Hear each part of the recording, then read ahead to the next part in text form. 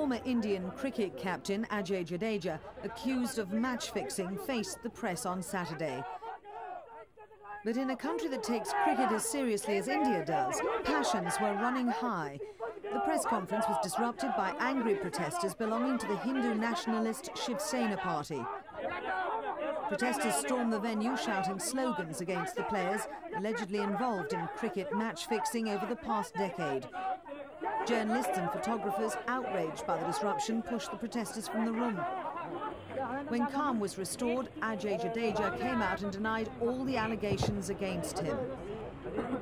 At no time in my career have I been involved in match fixing as defined in the CBI report. One. At no time have I ever accepted money or any other form of consideration for underperforming in a cricket match, whether at domestic or international or at any other level.